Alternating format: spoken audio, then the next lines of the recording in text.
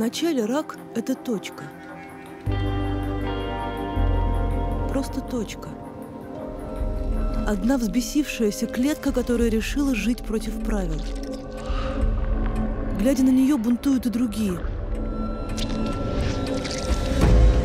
Клетка-преступник быстро и безжалостно воспроизводит себе подобных. Это и есть рак. Бесконтрольное деление злокачественных клеток.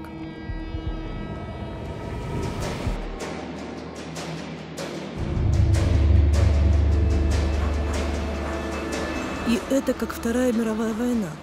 В наше время касается каждого.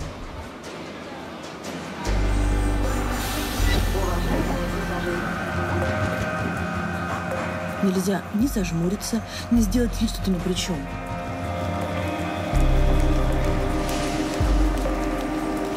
Нет на свете семьи, где сегодня не слышали бы о раке.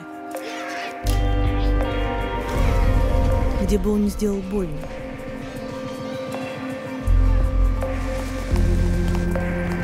Так или иначе, это имеет отношение к каждому из нас. Тем, кто делал этот фильм, и тем, кто его смотрит.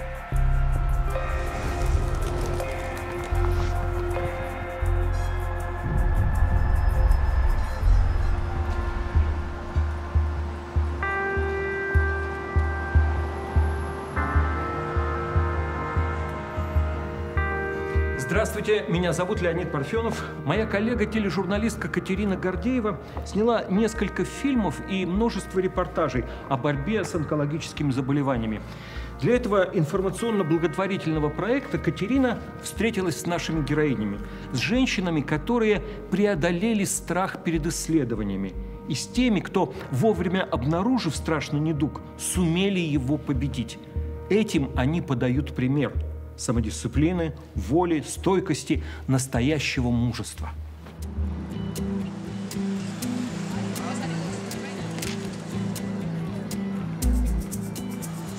Каждый год больше миллиона женщин в мире и 62 тысячи в России заболевают раком молочной железы.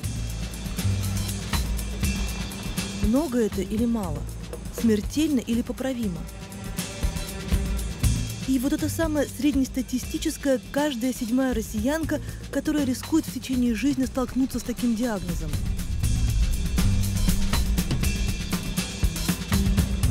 Знает ли она, что на самом деле шансов выздороветь, выжить и вернуться к полноценной жизни больше 90%? Но при одном условии. Болезнь обнаружена на ранней, а лучше даже сверхранней стадии –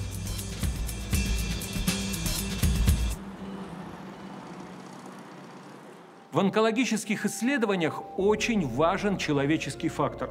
Ученые, врачи, биоинженеры, у всех них есть близкие люди, рискующие заболеть. И забота о родных, в том числе она, двигает науку вперед. Главное знание последних десятилетий – ранняя диагностика – самый действенный способ борьбы с раком.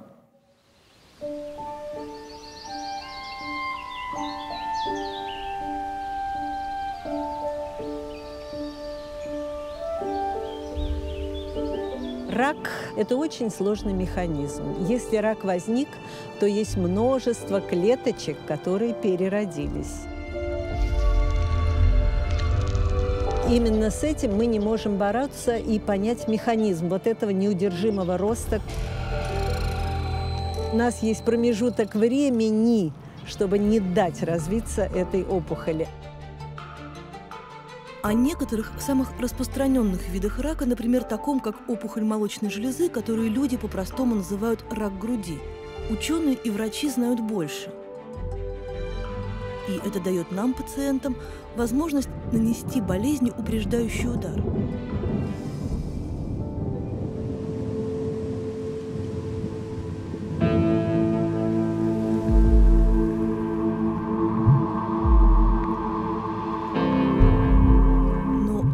Сама перспектива узнать диагноз сковывает необъяснимым страхом будущего.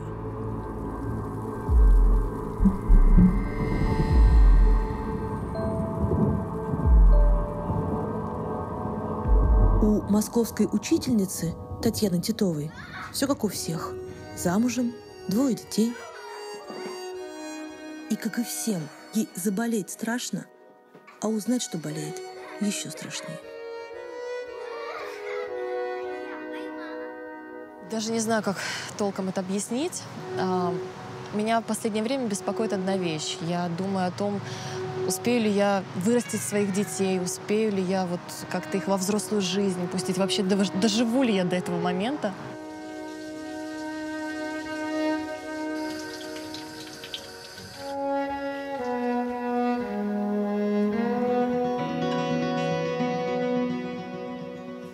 Больше всего я, наверное, из всех болезней боюсь рака. Об этом сейчас столько вокруг говорят, и люди многие болеют. У нас на работе был случай, мой коллега в школе, его жена заболела, и буквально за считанные месяцы она сгорела от онкологии. Не были близко так знакомы, но иногда кажется, что это настолько все рядом с тобой находится, ты никуда не убежишь, ты никуда не спрячешься от этого всего.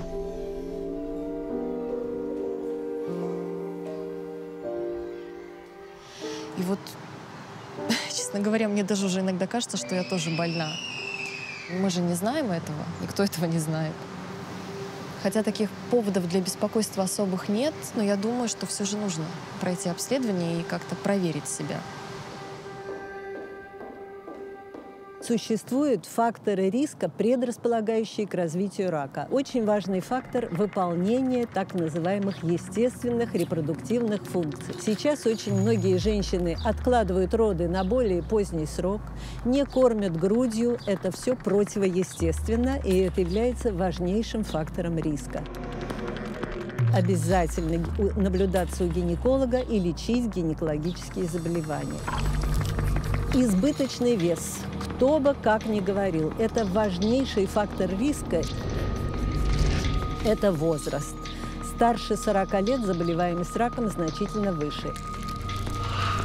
Важнейший фактор наследственный. Мутации генов, так называемых BRCA, есть, то женщина в 80% рискует заболеть. Как бы есть советская модель ты можешь потревожить врача тогда, когда у тебя уже э, ну, что-то тебя серьезно беспокоит. Но когда мы говорим про рак молочной железы, это приводит к тому, что ты обратишься к врачу в любом случае поздно. Если ты что-то уже нащупал, но это вторая, а чаще всего третья стадия.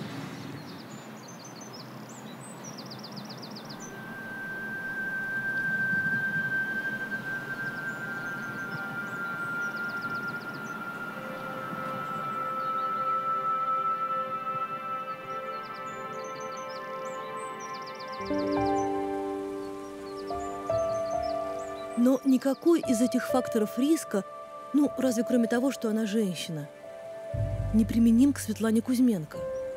И в этом настоящее коварство болезни. Рак иногда нападает на тех, кто не давал повода.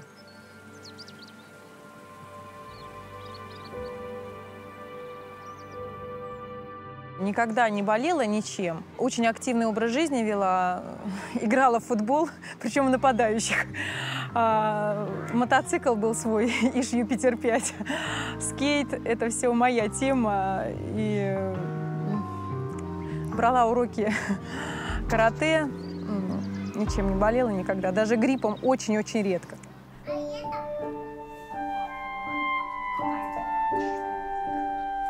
В 95-м Света вышла замуж. Одного за другим родила троих детей – но им с мужем хотелось быть полезными еще кому-то, и Кузьменко пошли в детский дом. Я пекла по 300 пирожков каждую неделю, потому что а, каждому ребенку это ведь дети, им надо что-то дать в руки. Но мы пришли к тому, что если реально хочешь помочь ребенку, то нужно честно взять его в свой дом, хотя бы одного.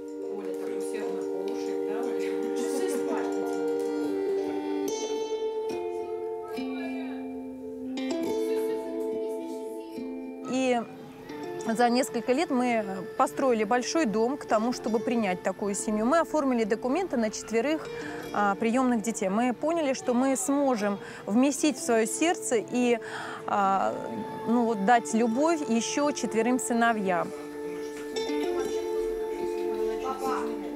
Когда у нас уже все было готово, уже присматривали детей, а, я обнаружила у себя в груди шишку.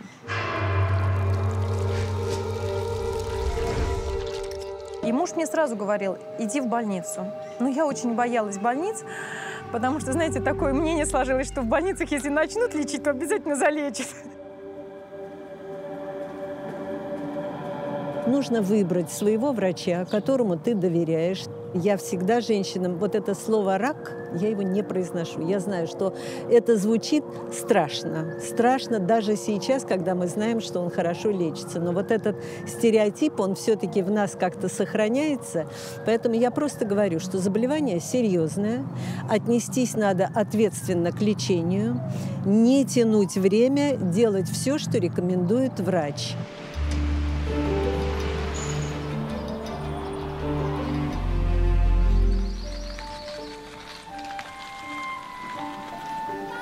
Если бы я сразу обратилась, я бы, может быть, даже обошлась без химиотерапии. Но так как я запустила, у меня были затронуты лимфоузлы. И когда мамолог через 7 дней сказала мне результаты пункции, она сказала, что, деточка, нужно э, удалить грудь полностью и как можно быстрее. У меня был не просто шок, у меня был вопрос, а что останется там? Она тихо сказала «рубец» и всунула мне бегунок с врачей. Это был шок, это просто был гром среди ясного неба.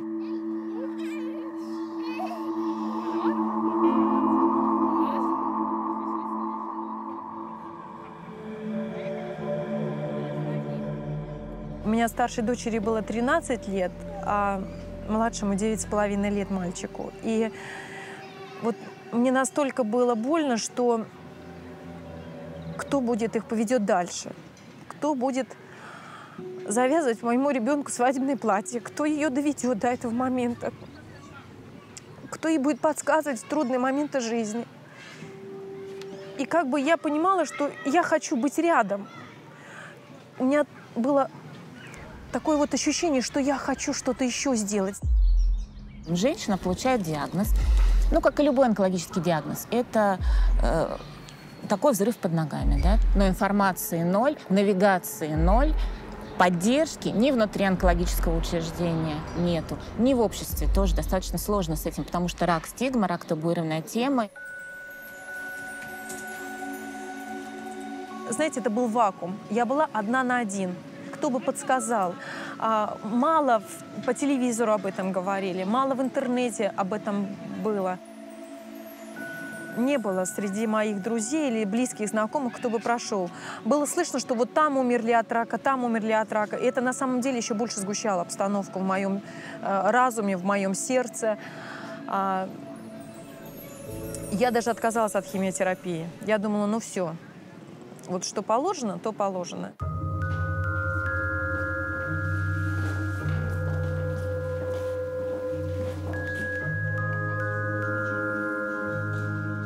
Многие теряются, да, э, когда встр...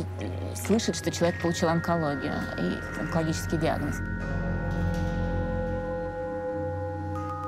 И тогда, как ответ на вот это вот, эм, на вот эту ситуацию, что женщина как в шкафу оказывается, как в каком-то вакууме, да, ответ на это самый такой простой был — Самый малобюджетный, самый такой вот очень, ну, как бы очевидный, это группа взаимопомощи. Это группы по принципу равные равными.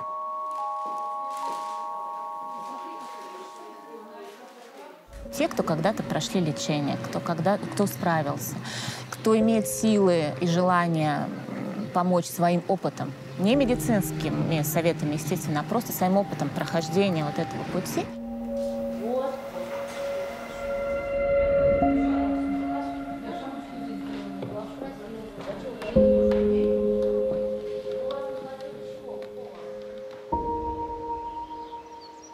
проходя мимо кабинета мамолога, я увидела объявление, что есть такая группа взаимопомощи, группа поддержки а, «Женское здоровье». И там было описано, что они поддерживают психологически.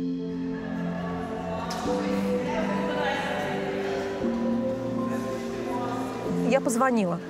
Знаете, меня прежде всего зацепило то, что там на другом конце телефона э, говорила женщина, и я поняла, что она в теме. Она прошла через это.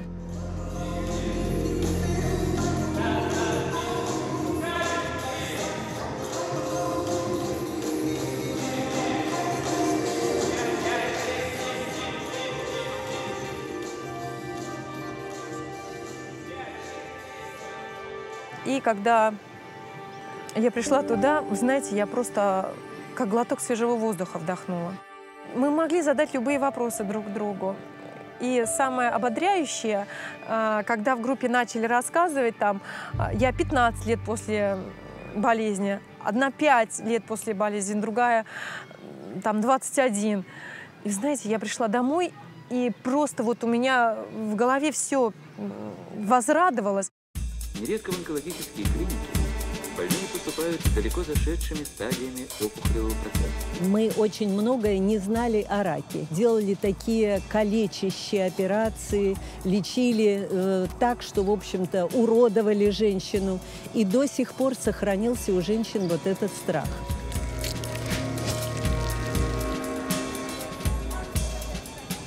В России буквально вот 30-40 лет назад мы, к сожалению, рак выявляли в первой и второй стадии лишь в 13-16% случаев. 50% заболевших погибали в первые пять лет после операции – более 40% женщин становились инвалидами. И, конечно, вот такая статистика, естественно, пугала и пугает до сих пор женщин, потому что они не знают, что в настоящее время все изменилось. Бурный научно-технический прогресс привел к тому, что мы очень многое узнали об этом заболевании. И мы теперь говорим о ранней диагностике. Она сейчас действительно достигла э, очень серьезных успехов. А ранняя диагностика меняет лечебную тактику. Есть же возможность органосохраняющих операций при ранних стадиях. Есть возможность, когда даже без химиотерапии обходится. То есть само по себе лечение, возможно, будет гораздо более щадящим. Человек а, просто будет жить так, как будто бы у него не было этого. Его продолжительность жизни не будет зависеть от вот этой вот э, истории, которая с ним произошла. Запущенные стадии – это, можно сказать, уже совершенно другое качество жизни. Это калечащие операции, это такие мощные дозы лучевой терапии, токсичной химиотерапии и так далее. Это уже серьезно. А когда ты пришел вовремя, заболевание, хотя оно и серьезное, оно лечится гораздо легче, и, в общем-то, ты чувствуешь себя излеченным. Выходит, чем раньше рак обнаружен, тем он слабее, тем, стало быть, легче его обуздать. Традиционно стадии рака принято обозначать цифрами от 0 до 4, к которым иногда прибавляют букву А или Б, указывающую на распространенность процесса. При нулевой стадии опухоль еще невозможно обнаружить самостоятельно. Никаких симптомов у пациентки нет, но образование уже появилось в молочном протоке или в железистой ткани. На первой стадии опухоль может достигать 2 см в диаметре, но она еще не распространилась на окружающие ткани. Вторая стадия. Опухоль или меньше 2 см в диаметре и уже распространилась на подмышечные лимфатические узлы, либо она до 5 см в диаметре и еще никуда не распространилась. При третьей стадии опухоль до 5 см в диаметре, она поразила подмышечные лимфатические узлы.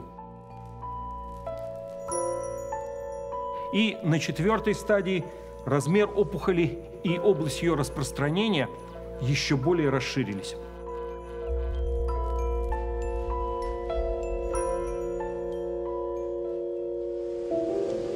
Клинически доказано, Рак молочной железы, обнаруженный на стадиях от нулевой до второй Б, при своевременной диагностике и правильном лечении гарантирует больше, чем 94% пациенток благоприятный прогноз, то есть полноценную и качественную жизнь.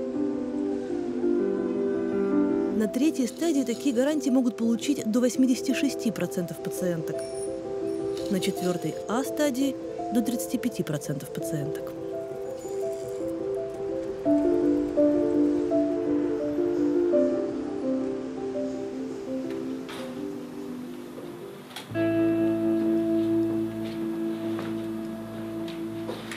Знаете, я как-то особой информации об этом нигде не видела. Но можно сказать, наверное, что мною просто движет какой-то человеческий страх, обыкновенный человеческий страх и страх болезни.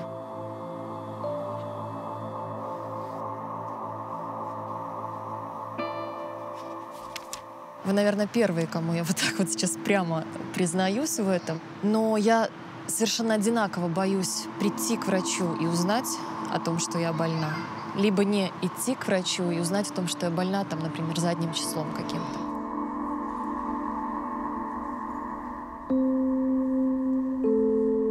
В конце концов, я иногда думаю, но ведь у каждого человека есть своя судьба, и, в принципе, какое-то исследование ее не изменит.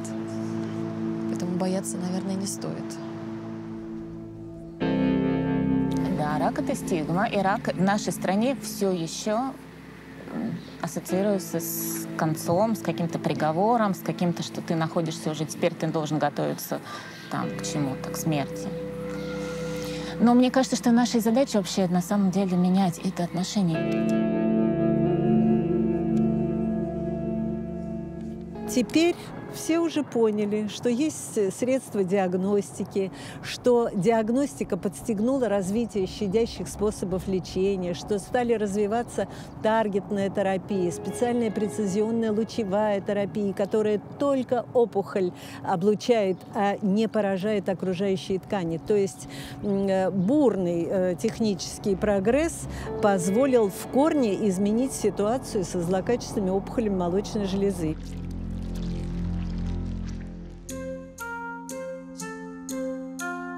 Один из первых шагов в этом направлении был сделан в конце XIX века в немецком Вюрцбурге.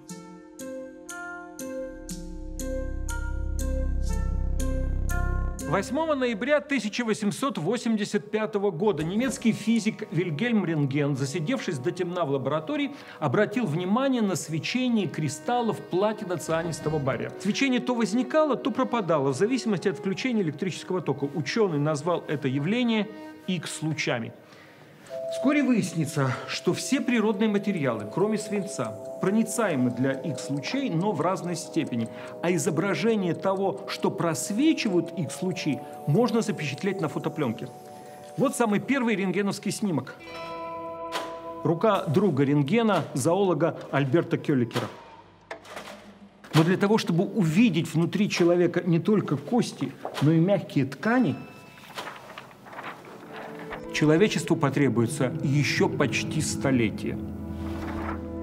Катерина Гордеева продолжает рассказ.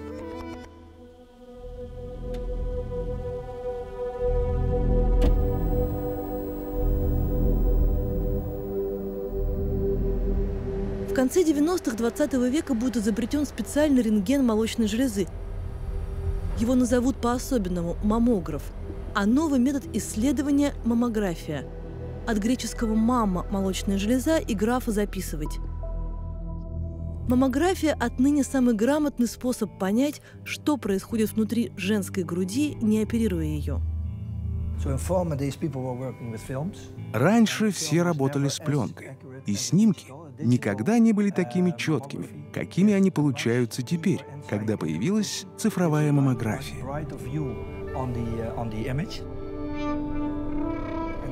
Сегодня у врача есть возможность менять яркость снимка, его контраст и увеличивать нужные участки. Таким образом, точность диагностики вырастает в разы, а доза, которую получает пациентка при цифровой маммографии, в 2-3 раза ниже по сравнению с пленочной. Про медицину теперь принято рассказывать на наглядных примерах. Вот обычная пачка бумаги. снаружи с обеих сторон все чисто. А внутри неожиданно возникает слой листов с повторяющимися пятнами. Примерно так маммография, исследуя внутренние ткани, способна обнаружить пораженный участок на самой ранней стадии заболевания. А ведь это главное в борьбе с ним. И еще. Вопреки представлениям, что, мол, само исследование вредит организму, на самом деле женщина при маммографии получает ту же дозу облучения, что и каждый пассажир трехчасового авиарейса. Например, Москва-Тюмень.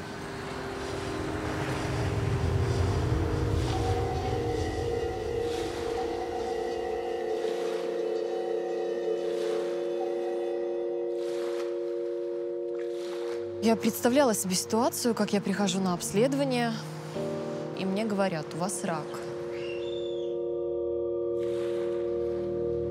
И вот что я буду делать? Какая будет моя вообще реакция на это все?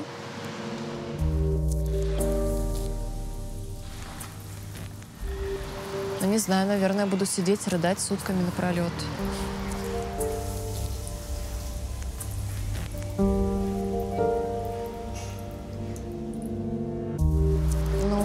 Если честно, я не знаю, что делать. Я не представляю свою реакцию абсолютно.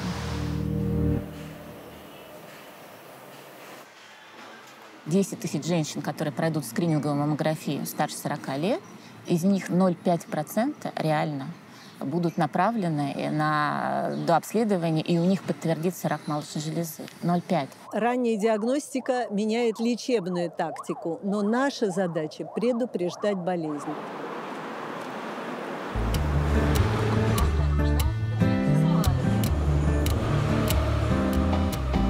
Тут все очень просто. Предупреждать значит знать заранее, быть уверенной в том, что здоровье под контролем. В 21 веке уже существуют проверенные алгоритмы того, как это сделать.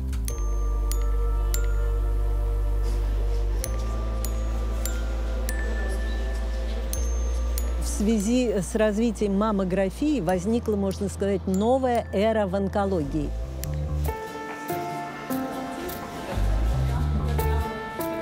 Теперь ни хирург, ни онколог не может полагаться на данные пальпации, то есть прощупывания и осмотра. Он не видит эту опухоль. Необходимо проходить так называемое скрининговое исследование, или по-нашему я бы сказала, что это диспансеризация, проверочное обследование.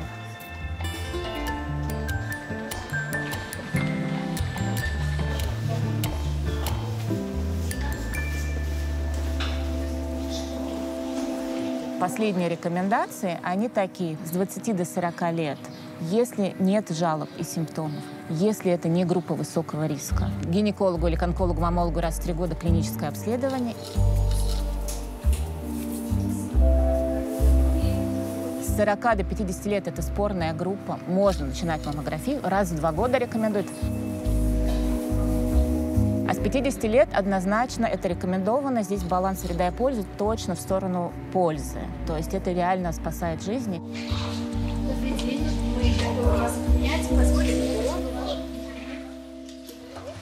Здесь э, фактор времени, он важен при раке, важен. Здесь нельзя затягивать, запускать, чего-то ждать. Ни в коем случае никаким знахарем ходить, никаких вот этих э, методов лечения не применять. Науке изв... ни, ни один факт не известен излечения от рака молочной железы вот какими-то такими способами.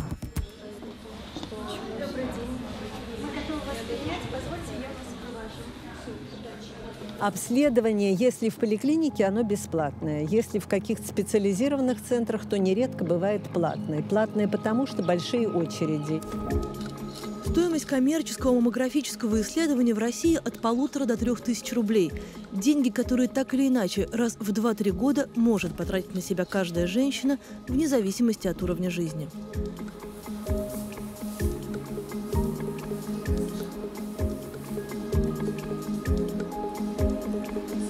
Мы недавно проводили конференцию, и там э, семь принципов Коко Шанель.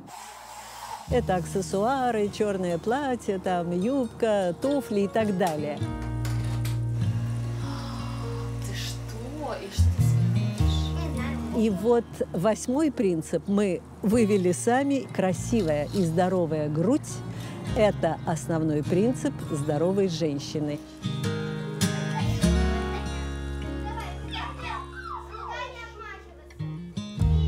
Во-первых, это здоровье. Во-вторых, мужчины всегда смотрят на красивую грудь и вообще на здоровое телосложение.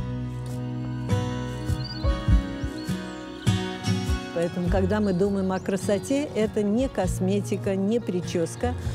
Прежде всего, это здоровье и уверенность в себе.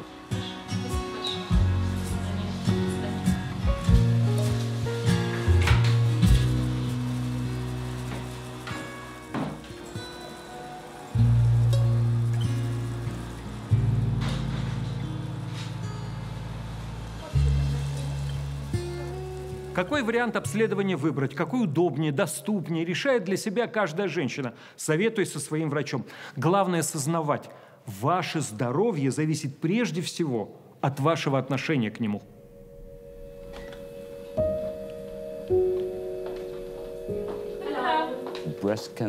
Мы запустили национальную программу маммографического скрининга в Голландии, когда поняли, что большинство женщин так или иначе осознает свою ответственность за здоровье.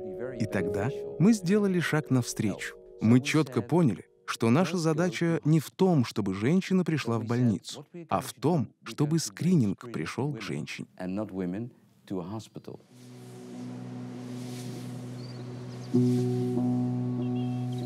Мы позвали здоровых женщин в возрасте от 50 до 70 лет так, как обычно каждый год их зовут к зубному. Вам надо проверить, все ли у вас по-прежнему в порядке.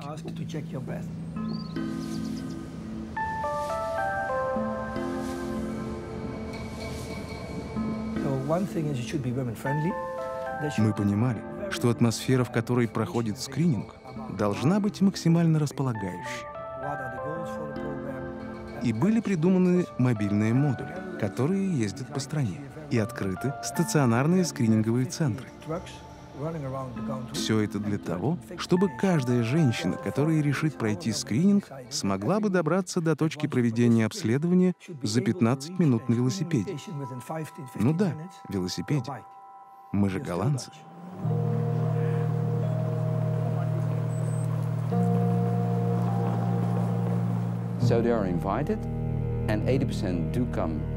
Результат этой программы воодушевляет. 80% женщин пришли на скрининг, увидели все это своими глазами, проверились и спокойно живут дальше, возвращаясь каждый год на диагностику.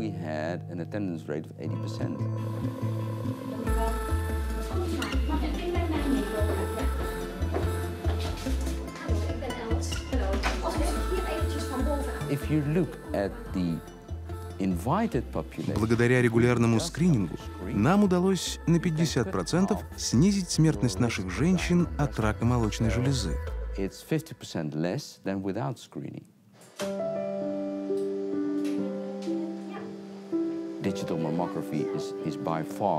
Благодаря высокой точности цифрового оборудования вы находите больше раковых и предраковых заболеваний. И у вас оказывается больше времени на то, чтобы их остановить и в конечном итоге победить.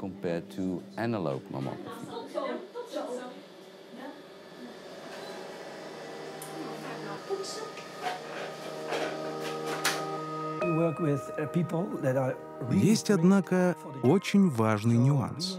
Для того, чтобы во время скрининга риск ошибки был сведен к минимуму, Работать с новой высокоточной аппаратурой должны очень квалифицированные специалисты. Нами был создан даже специальный центр, где учат не только радиологов-маммологов, но и технических специалистов, тестируют оборудование. И вот все это в комплексе работает.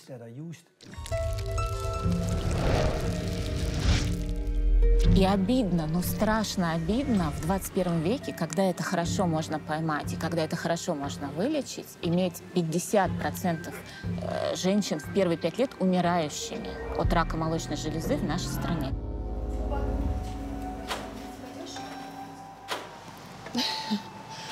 Вот вы сейчас сказали, я задумалась. на маникюр. Мне кажется, даже на маникюр больше времени уходит и денег. Но если так посчитать, можно же один раз в год посетить врача. Ты же не боишься? Ты же не боишься. У меня трусик, По сути, столько же времени уходит, просто вроде как тратишь деньги на себя, но не совсем на то, что важно для твоего здоровья.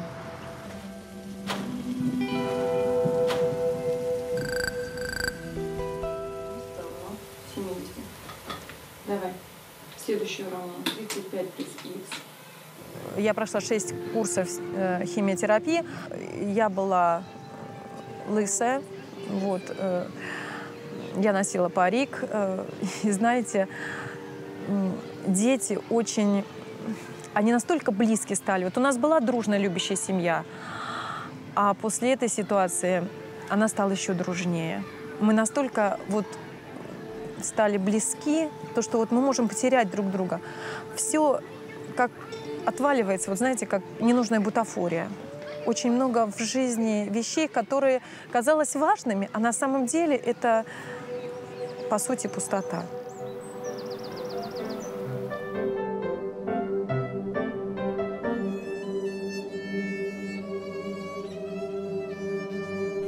Мы взяли двух сыновей, семи лет и четырех с половиной. Хотя я еще была в парике на тот момент. У меня только-только начали отрастать волосы.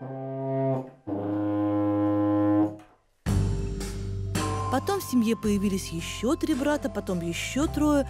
В общем, восемь прежде никому не нужных мальчишек стали сыновьями Светланы и Павла Кузьменко всего за несколько лет. Мне Бог позволил дожить до того, что я смогла одеть фату своей старшей дочери. Она вышла в недавнем времени замуж. И я присутствовала при всем этом. И это, это подарок свыше. И вот у меня уже взрослые дочери, одной 20 лет, другой 18. И муж все время просил маленькую девочку. Но мне было страшно, потому что уже и возраст как бы, и после стольких мальчишек как. Вы знаете, буквально через два дня нам звонят с органов опеки и говорят о том, что есть мальчик и девочка. Мальчику около четырех, девочке меньше трех лет. Когда я стала узнавать, а где мама, где родители, нам сказали, что мама умерла от рака. И я просто помню это состояние, когда я стояла в зале, и я... Это невозможно забыть. Я помню свое состояние, когда ты готов к тому, что ты уходишь. Ты разумом, ты понимаешь, что тебе остались считанные дни. И у тебя только одна мысль, чтобы Бог позаботился о твоих детях. И я понимаю состояние этой женщины. Она при жизни договорилась уже с людьми, у которых не было кровных детей, а, о том, что, чтобы они взяли детей. И они выполнили свое обещание. Но буквально через полтора месяца они привезли детей в органы опеки, сказали, заберите, они рушат нашу семью. Сейчас Оле и Феде, самым младшим Кузьменко, почти 4 и почти 5 лет.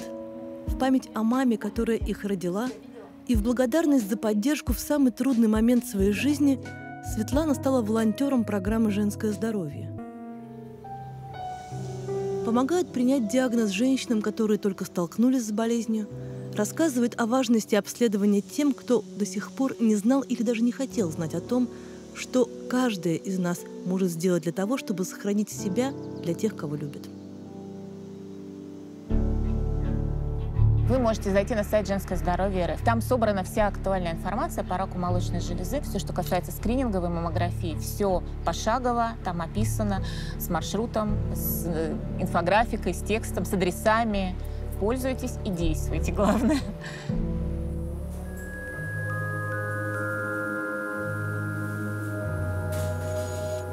Ой, ну я, конечно, шла туда на ватных ногах, мне было страшно. Переживала я, волновалась, естественно.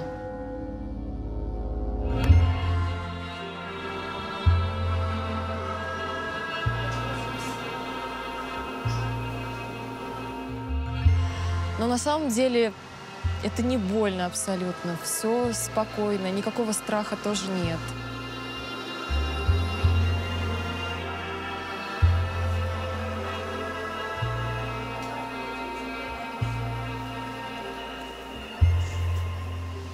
Там женщина, врач, она такая милая, доброжелательная, она все объяснила, все показала, все рассказала.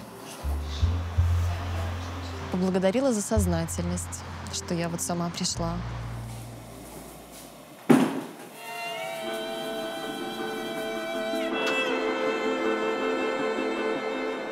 Вы знаете, уже когда я вышла из кабинета после всего, что было, как-то даже так легко стало. Вот как вот камень с души упал, и я домой полетела на крыльях счастья. Вот настолько легко.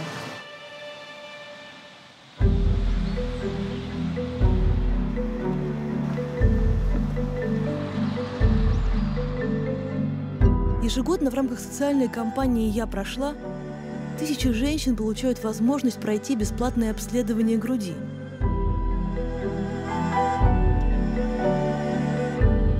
Каждая из них теперь та, которая прошла. Иногда о пережитом опыте обследования и эмоциях, связанных с ним, женщины рассказывают в социальных сетях с хэштегом «Я прошла».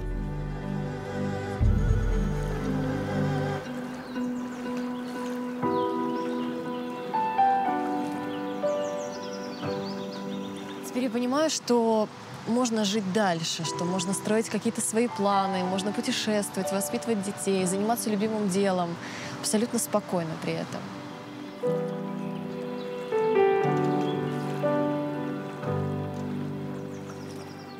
Наш рассказ про то, как это естественно. Любить себя, заботиться о себе, отвечать за себя, чтобы жить долго и полноценно. И лучше Светланы Кузьменко, которая точно знает, что она говорит, не скажет никто. Милые женщины, любите себя, заботьтесь о себе. Это ваша личная ответственность. Любите себя, своих близких, своих детей, своих мужей. И проверяйтесь, заботьтесь о своем здоровье.